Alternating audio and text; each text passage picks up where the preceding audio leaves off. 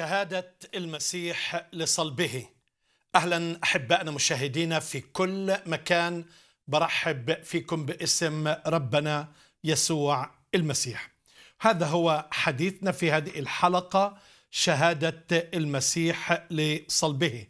وهذه المناسبة ولا سيما في هذا الشهر نتذكر آلام وموت وقيامة وظهور ربنا يسوع المسيح. فبحب أهنئ جميع المسيحيين سواء في التقويم الغربي أو الشرقي كل عام وأنتم بألف خير. الشهادات التي تشهد عن صلب يسوع المسيح لا تعد ولا تحصى.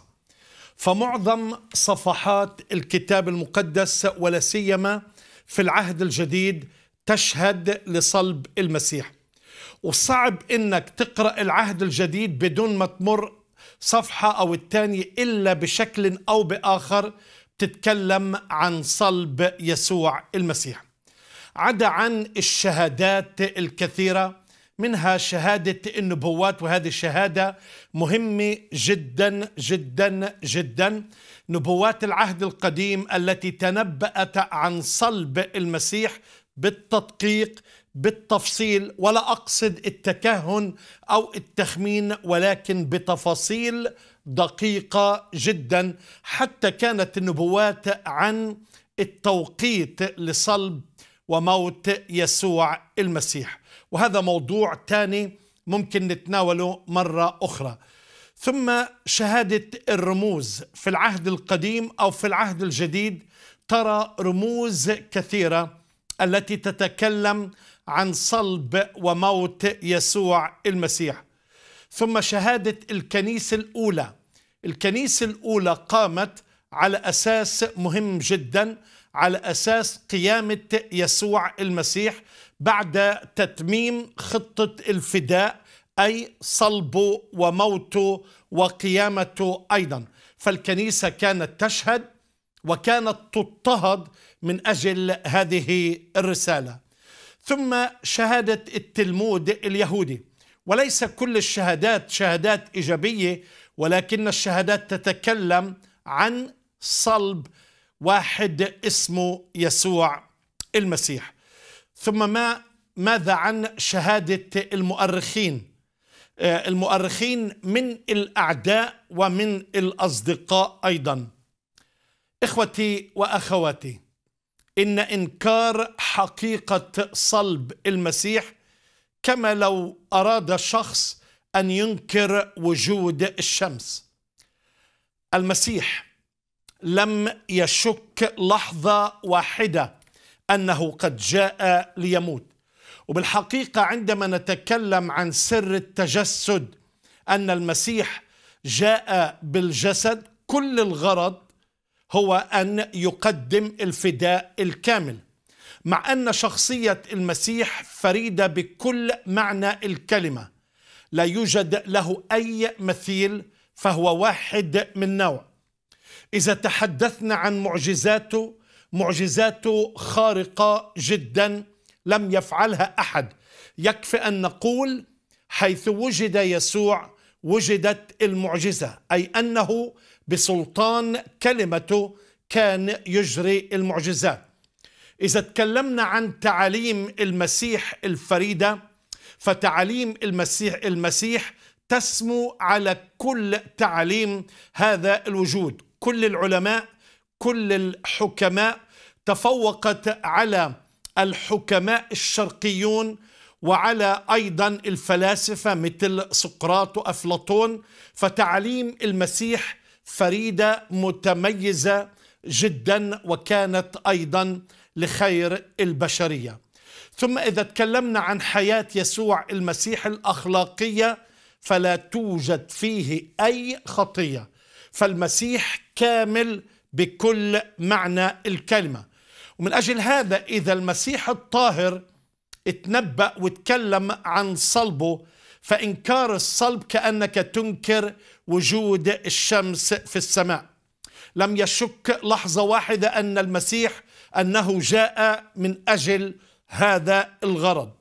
كان المسيح متيقن من هويته ومن هدف إرساليته بل رسالته أيضا. كان متأكد ومتيقن بل تكلم مرارا وتكرارا عن الهدف وسبب مجيئه. هذا الهدف هو أن يذهب إلى أورشليم يتألم ويصلب ويموت ويقوم في اليوم الثالث. سأعود إخوتي وأخواتي لكي أتكلم عن هذا الموضوع بعد قليل.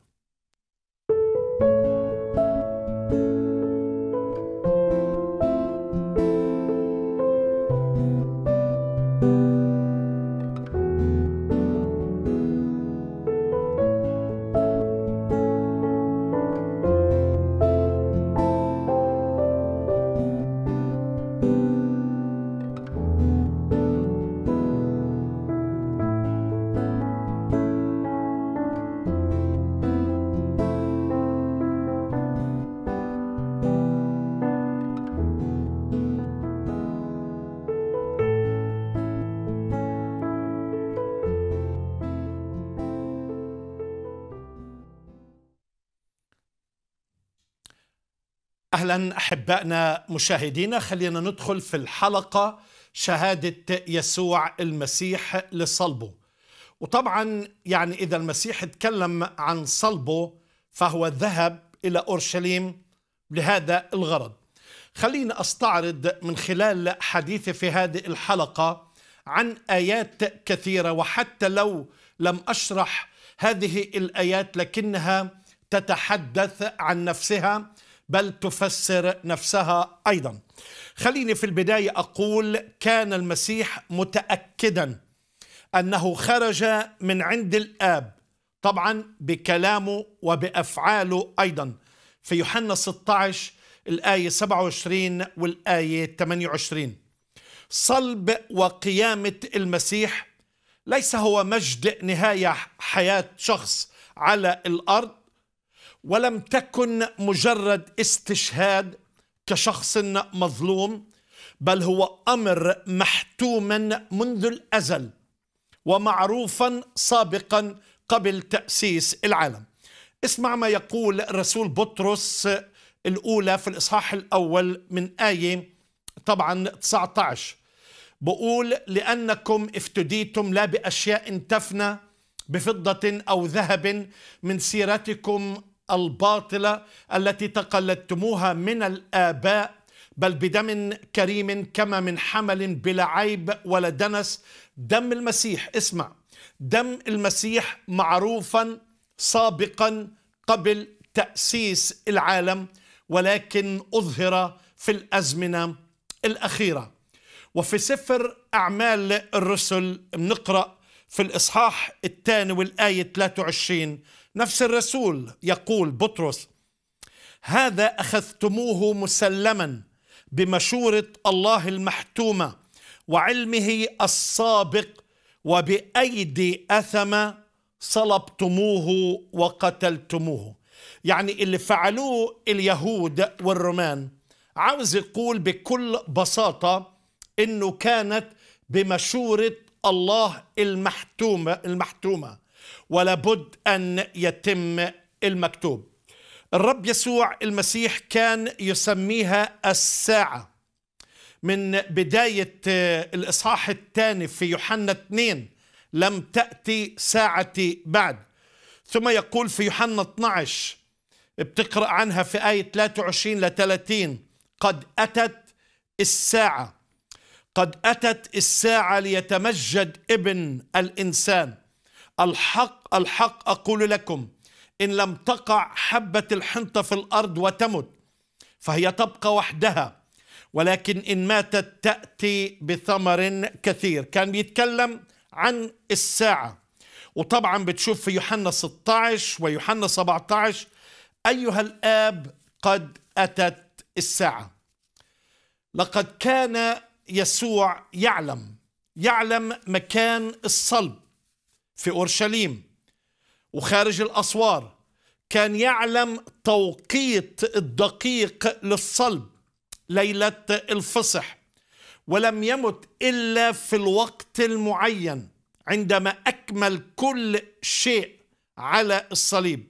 بل كل الغرض من مجيئه هو الموت على الصليب. بيتكلم بتفاصيل ودقة تامة بل تتعجب من صحة المكتوب. خلينا أحباء نستعرض من خلال كلمة الله وبعض يعني من الآيات. مثلا في بداية العهد الجديد بنشوف رسالة الملاك. رسالة الملاك مكتوب يدعى اسمه يسوع لأنه يخلص شعبه من خطاياهم. فعم ببشر مريم وببشر يوسف أن ولادة يسوع والغرض من الولادة هو الخلاص يخلص الناس من الخطية.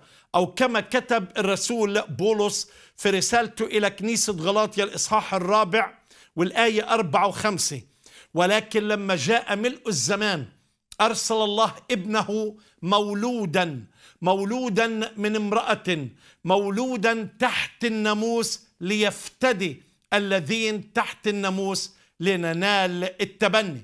فبيتكلم عن الغرض الخلاص والفداء أيضا. بل حتى سمعان الشيخ اللي كان بينتظر موعد الخلاص قال هذه العبارة لأن عيني قد أبصرتا خلاصك وتكلم بنبوة للمطوبة القديسة مريم العذراء. قال لها سيجوز في نفسك سيف في لوقا الإصحاح الثاني. ثم حن بنت فنوئيل اللي كانت ما تفارق الهيكل. اتكلمت عن المنتظرين فداء أورشليم. فإذا واضح من هذه الآيات أنه كله عم بيتم بمخطط إلهي بخطة محكمة منسجمة لابد أن تتم. ثم ماذا عن يوحنا المعمدان؟ قال هوذا حمل الله الذي يرفع خطية العالم. بيتكلم عن فداء وموت يسوع المسيح وخطة الخلاص. ثم بنستعرض أحبائي كلام يسوع. يسوع عندما كان في قيصرية فيلبس سأل التلاميذ من يقول الناس إني أنا ابن الإنسان؟ أجابوا وقالوا إيليا إرميا واحد من الأنبياء وهكذا كانت أجوبة كثيرة. ولكن وجه المسيح كلامه للتلاميذ وأنتم من تقولون إني أنا؟ أجاب بطرس وقال له أنت هو المسيح ابن الله الحي. أجاب يسوع وقال له طوبى لك يا سمعان بن يونا إن لحما ودما لم يعلن لك ولكن يعني إرادة أبي مشيئة أبي. وأنا أقول لك أيضا أنت بطرس وعلى هذه الصخرة أبني كنيستي وأبواب الجحيم لن تقوى عليها. وأعطيك مفاتيح الملكوت. بعد هذا الاعتراف اعتراف بطرس بيسوع المسيح أنه ابن الله أي المخلص المسيح يعترف بأهمية بطرس. وهذا الكلام كان في بنياس في قيصرية فيلبس في الجليل الأعلى عند سوريا حدود سوريا. مكتوب بنفس الإصحاح. من ذلك الوقت ابتدأ يسوع يظهر لتلاميذه أنه ينبغي أن يذهب إلى أورشليم ويتألم كثيرا من الشيوخ ورؤساء الكهنة والكتبة ويقتل وفي اليوم الثالث يقوم. تخيل هذه التفاصيل الدقيقة اللي يسوع المسيح بيتكلم عنها. بطرس اللي كان إعلانه من الآب السماوي والآن يتغير هذا الإعلان. فأخذ يسوع جانبا وابتدأ ينتهر. تخيل يسوع. فقال له يسوع قال لبطرس يعني اذهب عني يا شيطان أنت معثرة لي. فتخيل إنه المسيح يسمي بطرس اذهب عني يا شيطان. يعني المشورة اللي تكلم فيها ومن خلالها بطرس هي مشورة شيطانية بمجرد إنه حاول إنه يمنع المسيح أن يذهب إلى أورشليم ليصلب هناك. فإنكار الصلب قال المسيح لبطرس اذهب عني يا شيطان. ثم على تج... على جبل التجلي حين تغيرت هيئة المسيح ورأوا قبس من مجد يسوع المسيح ونرى شخصيتين عظيمتين ظهرا مع يسوع اللي هو موسى وإيليا موسى يمثل الشريعة وإيليا يمثل الأنبياء. وكان كلامهم عن خروجه طبعا بيتكلم عن موت المسيح في أورشليم. تعرفوا جاء الفريسيون مرة وبيكلموا يسوع يعني عاوزين يرعبوه ويخوفوه. بيقولوا له إنه هيرودس المقصود هيرودس أنتيباس يريد أن يقتلك. اسمع كلام وجواب يسوع المسيح. اذهبا واخبرا هذا الثعلب بيتكلم عن هيرودس. ثم أكمل حديثه قال لأنه لا يمكن أن يهلك نبي خارجا عن أورشليم. بشارة لوقا إصحاح 13 ثم أحبائي قال يسوع أنا هو الراعي الصالح والراعي الصالح يبذل نفسه عن الخراف. وفي نفس الإصحاح يقول وأضع وأنا أضع نفسي عن الخراف. ليس لأحد حب أعظم من هذا أن يضع أحد نفسه لأجل احبائه وفعلا بذل نفسه من أجل أحبائه. ثم أحبائي قول يسوع المسيح لأن ابن الإنسان لم يأتي ليخدم بل ليخدم وليبذل نفسه فدية عن كثيرين. في متى عشرين ومرقس عشرة آية 45 فإذا بيتكلم عن الغرض. أنه جاء ليبذل نفسه فدية عن كثيرين. ثم عدة مرات تكررت هذه الآية اللي راح أقرأها على مسامعكم ها نحن صاعدون إلى أورشليم. وبيتكلم بالتفصيل. وسيتم كل ما هو مكتوب بالأنبياء عن ابن الإنسان. في متى عشرين بيتكلم بالتفصيل أنه سيسلم إلى رؤساء الكهنة ويتألم ويصلب ويموت ويقوم في اليوم الثالث في في لوقا 18 مكتوب يعني سيتم كل ما هو مكتوب بالأنبياء عن ابن الإنسان. ثم الرب يسوع نفسه قال وأنا إن ارتفعت عن الأرض أجذب إلي الجميع مشيرا إلى اية ميتة كان مزمعا أن يموت. يوحنا إصحاح 12 والآية 32 والآية 33 فتخيل إنه يسوع المسيح عم بيتكلم بالتفاصيل إنه كل الغرض لمجيئه أنه جاء ليموت. وأتعجب من الذين يستخدمون الكتاب المقدس ليثبته انه المسيح لم يصلب.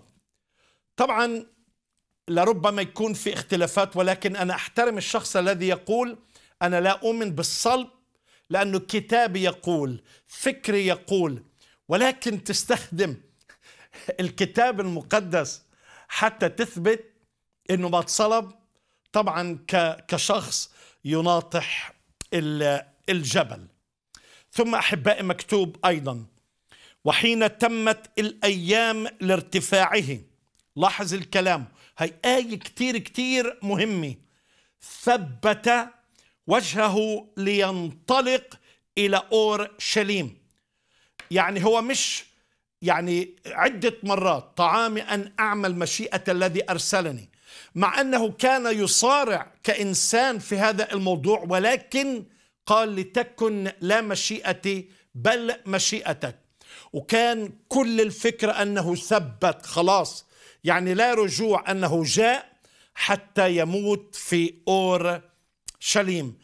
ثبت وجهه لينطلق إلى أور شليم. في لوقا الإصحاح التاسع والآية 51 مكتوب عن يسوع وأما يسوع قبل عيد الفصح وهو عالم أن ساعته قد جاءت لينتقل من هذا العالم لاحظ إلى الآب. وأنه لاحظ الكلام وأنه من عند الله خرج وإلى الله يمضي. شوف الدقة والتعابير بهذا الكلام. بل أكثر من هذا يسوع عرف مسلمه.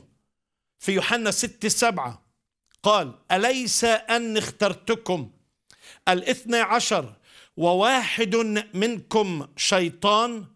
قال هذا عن يهوذا سمعان الإسخريوطي لأن هذا كان مزمعا أن يسلمه.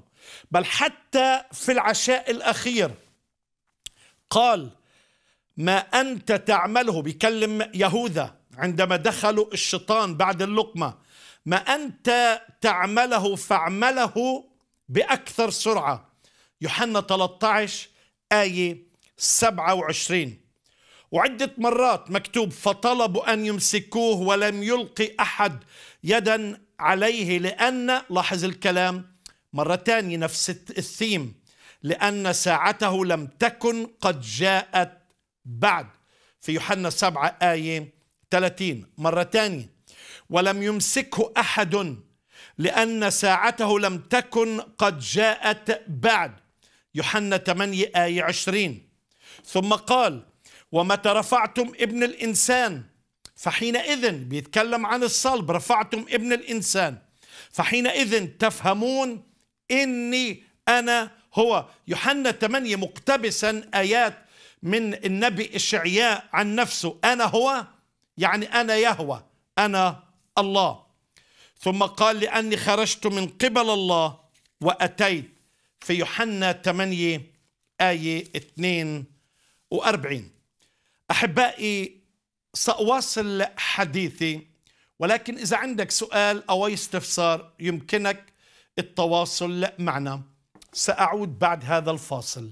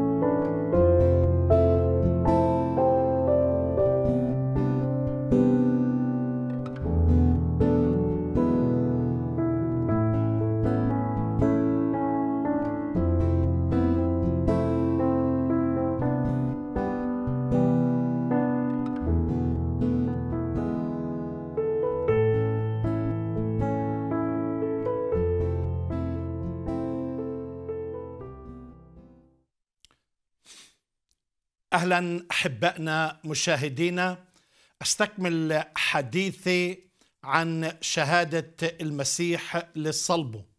يعني ما أقصد في هذا الكلام إنه يسوع من خلال كلامه من خلال نبواته من خلال الرموز اللي راح أتكلم عنها بعد قليل كلها إشارات أنه جاء لكي يموت.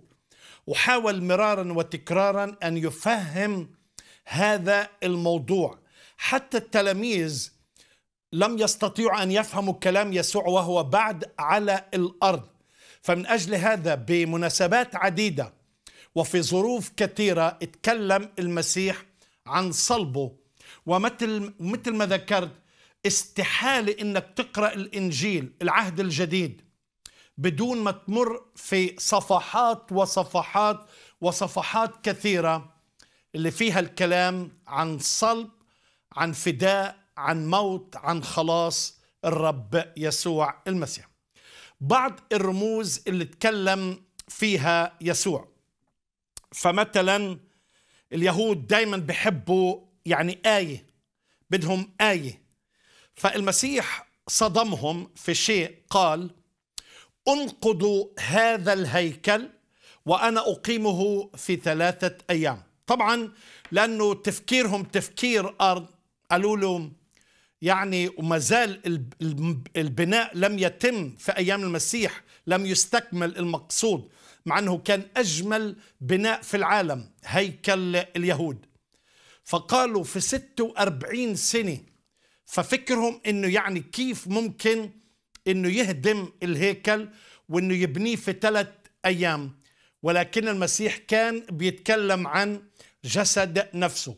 ولاحظ أنه هذا الكلام استخدموه كتهمة ضد الرب يسوع المسيح وهو على الصليب يا ناقد الهيكل وبانيه. تخيل مع إنه المسيح قصد انقض هذا الهيكل يعني اقتل هذا الجسد وفي ثلاثة أيام سيقوم هذا الجسد. ثم آية ثانية يعني بسبب عدم إيمان اليهود وقال تعطى لهم آية إلا آية يونان رغم كل الآيات اللي عملها يسوع ورغم كل الأمور الخارقة والعجيبة اللي شافوها من يسوع ولكنه قال لا تعطى لهم آية إلا آية يونان شو هي آية يونان؟ بيتكلم عن قصة يونان إنه كما كان يونان في بطن الحوت ثلاثة أيام وثلاثة ليالي هكذا أيضا ابن الإنسان.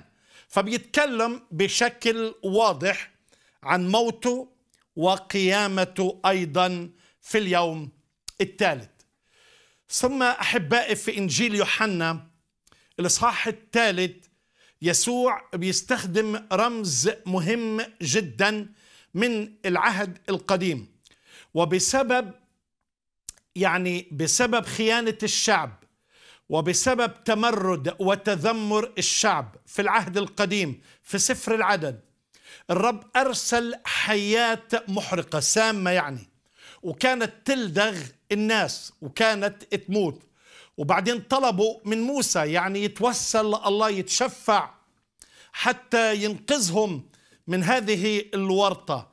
فالله طلب من موسى أنه يصنع آية أو راية من حية نحاسية ويقول الكتاب المقدس كل من نظر إلى هذه الحية يحيا.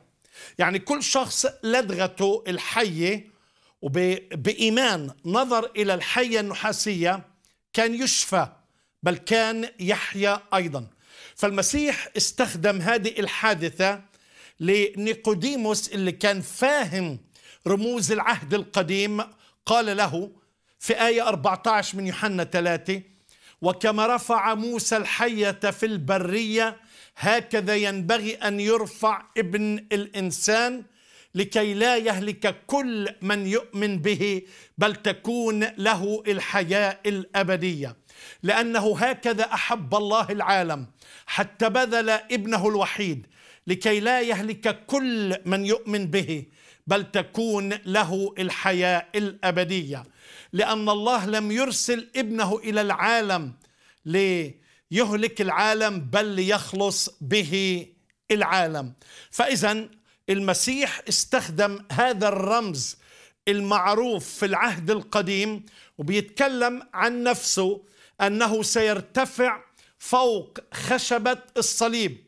والصليب هو كان رمز عار والصليب كانت وسيلة إعدام والصليب كان وسيلة قتل استخدمها الرومان بشكل متطور لكي يتألم المحكوم عليه أكبر عدد ممكن من الساعات ولكي يكون عبرة لمن اعتبر. ولكن المسيح استخدم هذه الآية لكي يتكلم عن الشفاء وعن الخلاص أنه كل من نظر بالإيمان ليسوع المسيح ألم يقل النبي إشعياء التفتوا إلي واخلصوا يا جميع أقاصي الأرض لأني أنا الله وليس آخر. مكتوب في مزمور 34 نظروا إليه واستناروا ووجوههم لم تخجل. مكتوب ناظرين إلى رئيس الإيمان ومكمله يسوع. انظر إلى رئيس الإيمان. انظر إلى رئيس الخلاص. انظر إلى رئيس الحياة. التفت إليه وبالتفاتة عندما تقول ارحمني خلصني لابد أن تنال الخلاص الكامل إن طلبته بالإيمان. فطبعا المسيح عم بيستخدم في إنجيل يوحنا تعابير اللي كانت مفهومة لليهود حتى يوضح فكرة الصلب والقيامة. أيضا خلينا نيجي لشيء آخر في إنجيل يوحنا الإصحاح السادس والآية 51 وهذه آية مهمة جدا. إحنا قلنا قال يسوع أنا هو الراعي الصالح والراعي الصالح يبذل نفسه عن الخراف. أنا أضع نفسي بقول الرب يسوع وهون بيقول الرب أنا هو الخبز الحي الذي نزل من السماء. إن أكل أحد من هذا الخبز يحيا إلى الأبد. والخبز الذي أنا أعطيه هو جسدي الذي أبذله من أجل حياة للعالم. مرة تانية والخبز الذي أنا أعطيه هو جسدي الذي أبذله من أجل حياة العالم.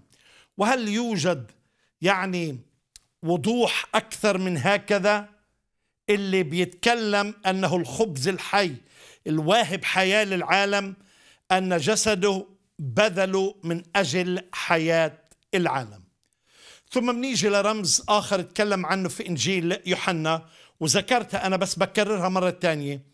حبة الحنطة.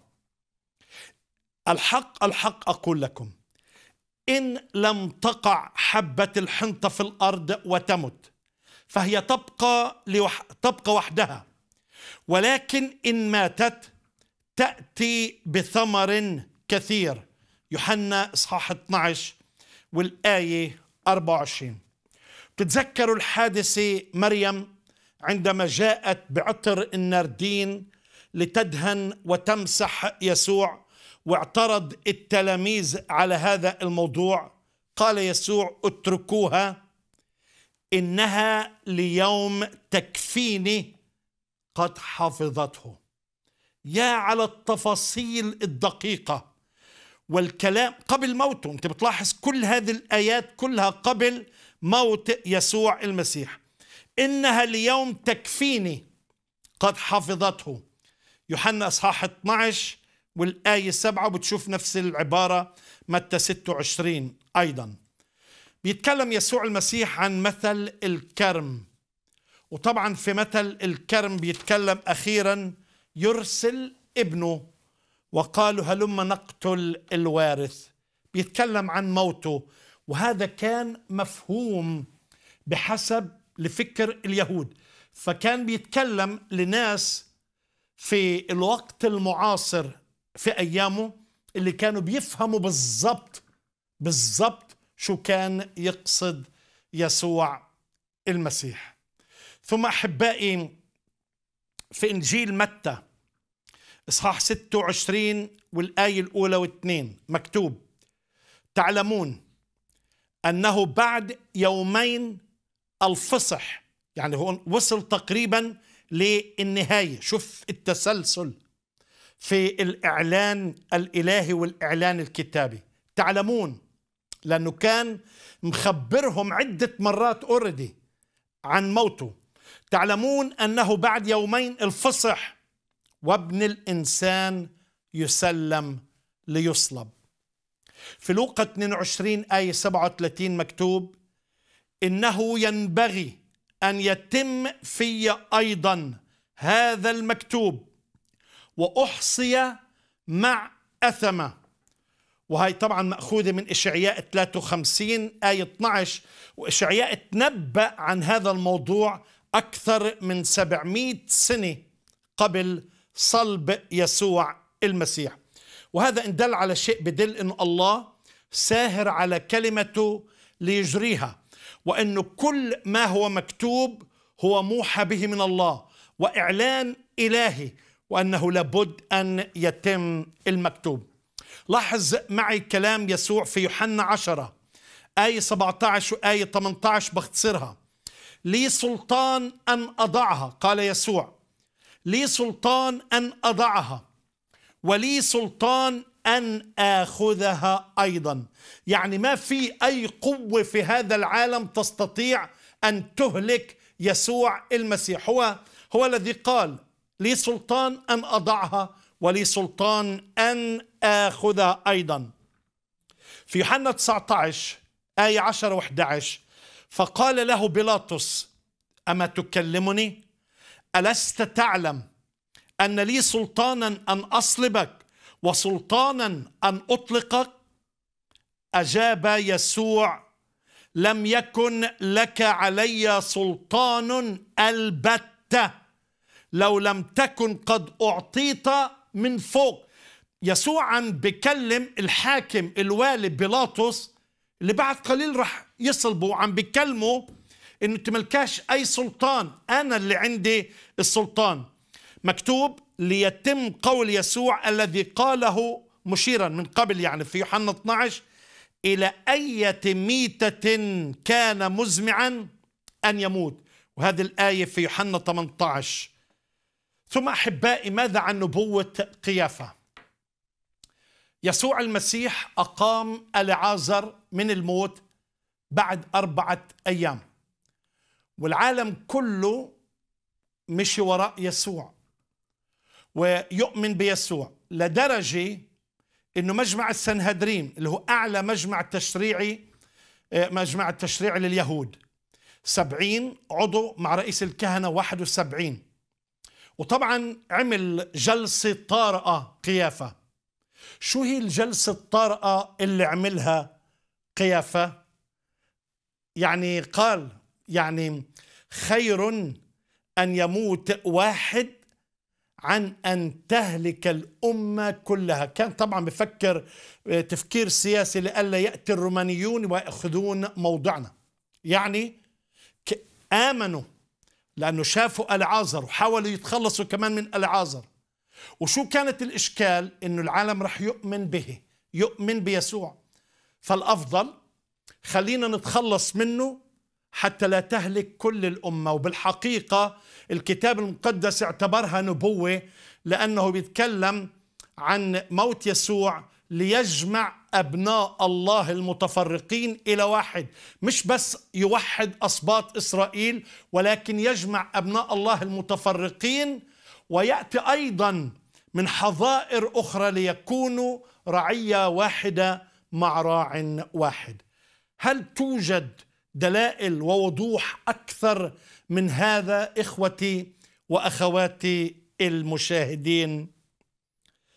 طبعا في العشاء الأخير بيتكلم يسوع لأنكم كلما أكلتم من هذا الخبز وشربتم من هذه الكأس تخبرون بموت الرب إلى أن يجيء في العشاء الرباني. ثم فريضة المعمودية بيتكلم بولس الرسول دفنا معه أيضا في المعمودية. فيها موت وفيها قيامه لنسلك في الحياة الجديدة. وكل هذه الأمور أحبائي واضحة جدا من خلال هذه الرموز اللي تكلم عنها الرب يسوع له كل المجد. خلونا أخذ مكالمة في هذا الوقت من إلياس. أهلا وسهلا أخ إلياس آه، من من لبنان. تفضل أخ إلياس أنت معنا على الهواء سلام المسيح عسيس نزار ربي يباركك ويبارك خدمتك. آه، بحييك وبحيي الأخوة المستمعين كلهم آه، يلي عم بيسمعونا والرب يكون معكم. ويباركك ويباركك أخ إلياس شكرا. بدي أقول عنه أنا بيوم من الأيام آه، وأنا عم بقرأ الكتاب المقدس آه، كنت عم بقرأ مزمور 22 وقفت قدام هالمزمور آه، بشكل كتير تأثرت إنه هيدي هيدا شاهد عيان عم بيشهد عن عملية صلب الرب يسوع المسيح بكل تفاصيلها. بكل. ما ترك تفصيل ما ذكره والشيء العظيم اللي لقيته إنه المزمور انكتب تقريبا ألف سنة قبل عملية الصلب نعم. وقت يلي الصلب ما كان آه، معروف لأن الصلب كان عملية آه، إعدام رومانية وما كان معروف بوقتها يعني آه، هيدي هيدا هيدي نبوءة كثير قوية غير ال 360 نبوءة الموجودة بالعهد القديم. بس كمان في ملاحظة صغيرة بدي بدي أذكرها إنه آه، آه، بالقرآن بيذكر عن آه، إبراهيم وقت وقت اللي الله طلب منه يذبح ابنه. الشيء اللي قاله مذكور أنه وفديناه بذبح عظيم. يعني فداء الإنسان هل هو الذبح العظيم؟ طيب أنا إذا كنت غني وعندي قطيع غنم بذبحهم تكفر عن خطاياي يعني هيدي علامة استفهام كبيرة آه، بحطها. وبعدين غير النبوءات آه، منا نبوءة نفسه إبراهيم عندنا بالكتاب المقدس وقت يلي آه، راحوا واسحاق مشيوا ثلاث أيام وابنه اسحاق يقول له طيب هيدا الحطب وهيدي النارة وين الذبيحة؟ قال له الله رح يدبر. الله يدبر. والله دبر. المخطط الرب كامل. مخطط الله من البداية لخلاص الإنسان كامل كامل كامل. ونحن بنشكر الرب إنه نحن مفديين ونشكر الرب إنه هو معنا وهو يلي عم حضرنا مش بس عملية الفداء عم بيجهزنا للحياة الأبدية. وهيدي نعمة كبيرة. وأنا بتشكرك كثير أسيس على على الرسالة اليوم. ربنا يباركك يا أخي الياس وشكرا جزيلا لك وعلى كلماتك المشجعة وعلى الحق الكتابي اللي ذكرته. آه، يعني الأخ إلياس ذكر مزمور 22 بيتكلم بالتفصيل وطبعا ذكرت إشعياء 53 مزمور 22 ألف سنة قبل الصلب. آه، إشعياء 700 سنة قبل الصلب. كمان يعني أي شخص يعني أيعقل إنه كل هذه النبوات وطبعا نبوات ونبوات ونبوات. آه، على فكرة جرب تقرأ مزمور 22 وإشعياء 53 حتى تتوضح هذه الصورة.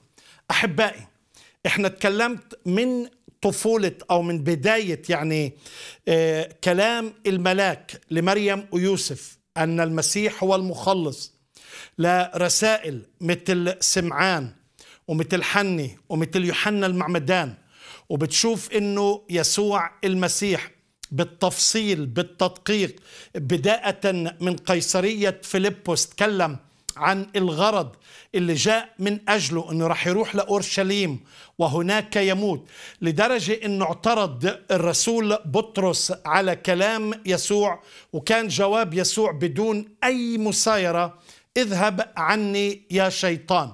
ومنشوف أنه الأمر بيتكرر.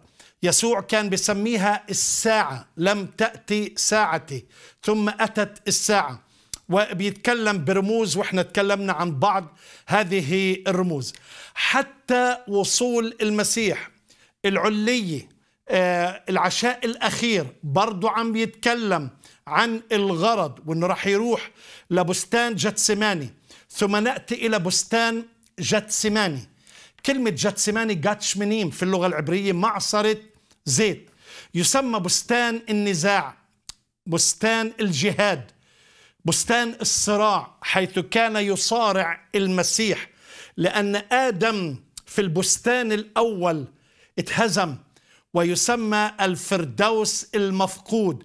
ولكن في هذا البستان يسمى الفردوس المردود لأن المسيح انتصر من أجلك ومن أجلي ولكنه كان يصارع حتى العرق نزل قطرات دم وقال للآب إن أمكن فلتجز عني هذه الكأس ولكن ولكن لتكن لا مشيئتي بل مشيئة الذي أرسلني. لاحظ كلام يسوع فخرج يسوع وهو عالم بكل عالم بكل ما يأتي عليه. يوحنا 18 آية أربعة. وعندما جاء يهوذا الإسخريوطي مع الحرس الهيكل والجيش الروماني وطبعا يعني آه، قال الرب يسوع يعني إذا كنت معكم كل يوم في الهيكل لم تمدوا علي الأيادي. ولكن لاحظ الكلام ولكن هذه ساعتكم هذه ساعتكم وسلطان الظلمة. لوقا آية 22 53 خرجوا بقول كأنه على لص بسيوف وعصي. وبعدين قال هذه العبارة ألا أستطيع أن أطلب من أبي اثني عشر جيشا يعني الجيوش من الملائكة وإلا كيف يتم المكتوب؟ لدرجة حتى واحد من تلاميذ المسيح اللي هو بطرس مسك الخنجر السكين وضرب عبد رئيس الكهنة وقطع أذنه. والرب يسوع وبخ بطرس قال رد سيفك إلى غمدي لأن الذين يأخذون بالسيف بالسيف يؤخذون أو بالسيف يهلكون. في يوحنا 18 فإذا حتى في البستان. المسيح صنع معجزة ورد أذن. عبد رئيس الكهنة ملخص وبخ بطرس لأنه استخدم العنف استخدم السيف لأنه جاء المسيح ليسلم ولكي يموت.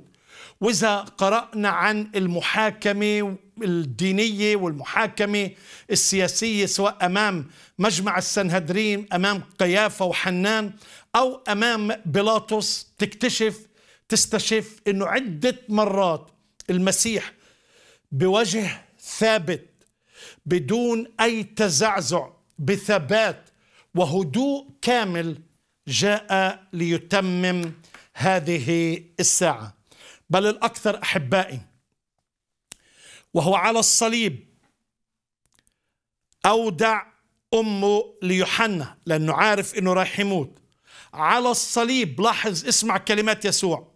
قال للص التائب اليوم تكون معي في الفردوس. ولاحظ على الصليب لأن المسيح لم يمت إلا في اللحظة في التوقيت الإلهي المعين. قال يا أبتاه في يديك أستودع روحي. ولما قال هذا أسلم الروح لأنه قال لي سلطان أن أضعها ولي سلطان أن آخذها. حتى وهو على الصليب عم بعيروا فيه اتفادى كل التعييرات على الصليب انزل خلص يعني خلص آخرين ولم يقدر أن يخلص نفسه. انزل فنؤمن بك. حتى في هاي اللحظات كان ثابت وعارف إنه عم بتمم المشيئة الإلهية. أحبائي ابقوا معي سأعود بعد هذا الفاصل لأختم حديثي.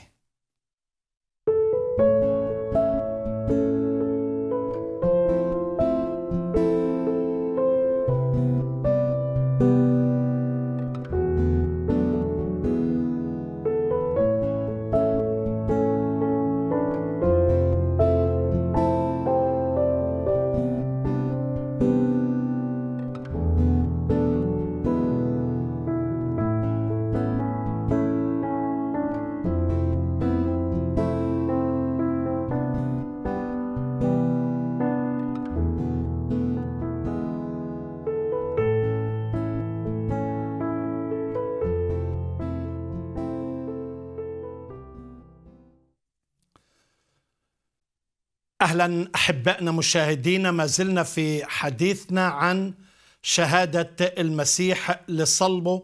وعلى فكرة يعني إحنا بس مجرد عم نلمس فقط السطح مش عم ندخل في كل آية لنتعمق بأهميتها وتتميمها يعني شيء مذهل جدا ويعتبر إعجاز معجزة تتمه كل هذه الآيات. حتى وهو على الصليب وضح الفكرة أنه جاء ليموت. حتى بعد القيامه في تلميذين يسمان تلميذي عمواس في لوقا 24 وسمعوا إن المسيح حتى قام وما استنوا يبحثوا في هذا الأمر. وكان عابسين وجههم يعني مكتئب جدا بيتكلموا عن يسوع المسيح كان مقتدرا بالأقوال والأفعال ومعروف ولكن بيقولوا كنا نرجو أن هو المزمع أن يفدي إسرائيل. طبعا ما استطاعوا يهضموا يستسيغوا فكرة إنه المسيح وعظمة المسيح أن يموت على الصليب. فلهذا السبب تركوا أورشليم مسافة 11 كيلومتر لعمواس ولكن كل شخص باحث لا يتركه المسيح. ظهر لهما يسوع المسيح وسألهم عن الموضوع وقال له شو أنت وحدك متغرب مش عم تسمع الأخبار والدنيا قايمة وقاعدة شو اللي عملوه في يسوع الناصري. وطبعا الرب يسوع وبخن وقال يعني ابتدى يستخدم المكتوب من التوراة والكتب والأنبياء أنه ينبغي أن يتم المكتوب عن يسوع المسيح. مش بس تلميذي عمواس بعد القيامة. واحد من التلاميذ المسيح ظهر للتلاميذ في العلية. واحد من التلاميذ اسمه توما ما كانش موجود. وطبعا مش قابل يصدق شهادة التلاميذ انه الرب ظهر لهم. فقال هذه العبارة إن لم أضع يعني كان عاوز يحط إصبعه في جراحات المسيح. فظهر المسيح في الأسبوع اللي بعده وقال له تعال يا توما ضع إصبعك في جنبي ولا تكون غير مؤمن بل مؤمن. ثم أطلق هذه العبارة قال ربي وإلهي. لأنه رأى المسيح المقام. وحتى ظهور المسيح للتلاميذ سواء في العلية أو على بحيرة طبرية دائما يثبت أن يلمسوه لأنه جسد يعني وأنه فعلا اتصلب ورأوا أثار الجراح في جسد يسوع المسيح. حتى في حديثه أنه سيرسل الروح المعزي الروح القدس لكن مش راح يتم إلا ما يموت ويقوم ويصعد إلى السماء ثم يرسل الروح القدس. وطبعا أيضا اتكلم للتلاميذ عن الاضطهاد اللي راح يواجهوه من خلال إيمانهم بيسوع المسيح بكل ثقة وبكل أمانة أيضا. خليني آخذ مكالمة من آه زكريا من المغرب. أهلا وسهلا أخ زكريا. سلام ونعمة آه سلام ونعمة المسيح معك يا أخ زكريا. الله يحفظك. أشكرك على برنامج يكون نور فكان نور وزيل ظلام الإسلام البشرية كلها. شكرا. وأشكرك على البرنامج اللي يكون نور هو برنامج أكاديمي. يعني يعني تعليمي تلميذ وبخصوص موضوع الحلقة عن الصلب و يعني شهادة الكتاب المقدس عن صلب المسيح فهي هناك عدة آيات عن صلب المسيح. ولكن هناك قصة قصة مثل الكرم والكرامين الأسرار في في إنجيل مرقس حيث في الإصحاح 12 من واحد إلى 12 وابتداء يقول, لهم بأمثال إنسان غرس كرما أخطأ حطه بالسجاج وحفر حوضا معصرة وبنى ثم أرسل إلى كرامي في الوقت نعم. عبدا ليأخذ من الكرامين من ثمر الكرم فأخذوه وجلدوه وأرسله فارغا ثم أرسل ابن أخيرا. آخرين فرجموه وشجعوا ثم أرسل أيضا آخر فقتلوا آه ثم أخيرا آه، فجلدوا منهم بعضا وقتلوا بعض فإذا كان آه، له أيضا ابن الوحيد حبيب إليه أرسله أيضا إليهم.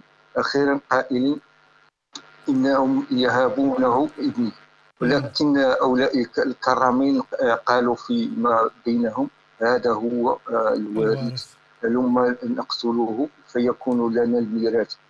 أخذوه وقتلوه وأخرجوه خارج الكرم. آه، يعني هذه هي خلاصة خلاصة يعني إرسال فعلا فعلا يا أخ زكريا آه، هي الخلاصة وأنت يعني فعلا الآيات اللي ذكرتها بتتكلم من أنه الله أرسل أنبياء أخيرا. الكلمة المتجسد الرب يسوع وبرضه قتلوا يسوع. شكرا كثير يا أخ زكريا بسبب آه، الوقت. ولكن خلوني أحبائي في الختام أقول شيء مهم أنه كيف تعامل المسيح والرسل مع الذين رفضوا الصليب؟ قال يسوع لبطرس اذهب عني يا شيطان. قال بولس الرسول فإن كلمة الصليب عند الهالكين جهالة. كورنثوس الأولى إصحاح الأول والآية 18 ثم قال نكرز بالمسيح مصلوبا. لليهود عثرة فالصليب عثرة. ولليونانيين جهالة. لكن برضو بولس قال لأني لم أعزم أن أعرف شيئا بينكم إلا يسوع المسيح وإياه مصلوبا. وبولس بيتكلم عن أصدقاء كانوا بيخدموا معاه في فيليبي صح؟ ثلاثة. ولكن هؤلاء برضو بسبب يعني لسبب ما تركوا المسيح وسماهم بولس وهم أعداء صليب المسيح. فالسؤال في الختام هل تريد أن تكون عدو للمسيح أم تريد أن تخلص بدم المسيح؟ ليس بأحد غيره الخلاص. اوعك ينضحك عليك. اقرأ فتش الكتب رح تجد فيها حياة. أبدية. أحبائي الصليب نعم رمز عار ولكن أصبح افتخار بالنسبة للمسيحيين لأنه فيه تعبيرات كثيرة. عالمين أن إنساننا العتيق قد صلب معه ليبطل جسد الخطية. مع المسيح صلبت فأحيا لا أنا بل المسيح يحيا فيا. الذين هم للمسيح قد صلبوا الأهواء مع الشهوات. وأما من جهتي فحاش لي أن أفتخر إلا بصليب ربنا يسوع آه، المسيح الذي به قد صلب العالم لي وأنا للعالم. بالنسبة إلنا الصليب هو رمز افتخار لأنه متنا عن الطبيعة القديمة أصبحنا خليقة جديدة وبإيماننا بيسوع المسيح وبفدائه وخلاصه الكامل اللي أكمله على الصليب بموته وقيامته صار إلنا تبرير وصار إلنا حياة أبدية. الشيء اللي لم يستطع أن يفعله أي نبي ولا أي إنسان استطاع أن يصل إلى هذا الكمال ولكن شكرا للرب يسوع اللي أكمل عمل الفداء. وأنا أدعوك اليوم ضع ثقتك في يسوع المسيح وبما فعله من أجلك. آمن به مخلص وتب عن خطاياك واقبله ربا ومخلصا لحياتك.